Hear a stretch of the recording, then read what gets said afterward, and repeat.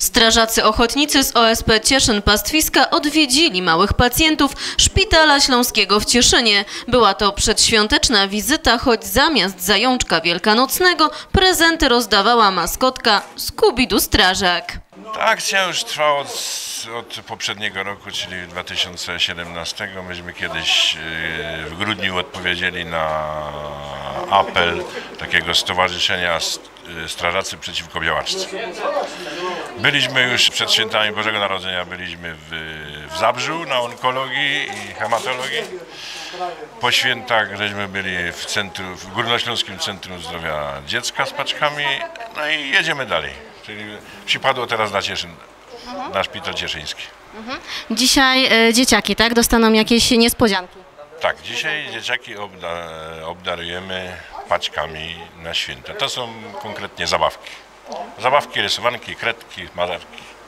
Wszystko, co dzieci lubią. Myśmy pod początkiem grudnia zbierali dwa dni pod Kauflandem w Cieszynie. Wystawiony był samochód strażacki z reklamami. Rozdawaliśmy ulotki.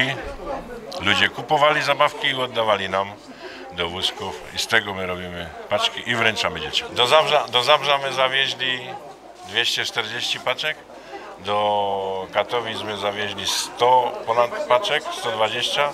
No tu mamy przygotowane, że tu nie jest dużo dzieci, więc tu mamy przygotowane około 40 paczek. Wszystko ochotnicy z Ochotniczej Straży Pożarnej w Cieszynie Pastwiskach plus drużyna młodzieżowa, ci starsi z drużyn młodzieżowych. A najważniejszy właśnie jest ten uśmiech, to zaskoczenie tych dzieci i uśmiech na twarzach. To jest dla nas najlepsza nagroda. No właśnie chciałam zapytać, jak reagują, jak was widzą? Reagują różnie, no różnie, ale przeważnie wesoło. Przeważnie wesoło i zaskoczenie. Czy nie ma przerażenia, że pożar? Nie, no nie, spokojnie idziemy. Mamy taką maskotkę Skubiego ze sobą, też strażaka, bo to jest Skubi, Scooby-Doo strażak. Budzi zainteresowanie? Budzi zainteresowanie, tak. Chcą się dzieci fotografować, także nie ma sprawy. Dla portalu Śląska Cieszyńskiego XPL Marta Szymik.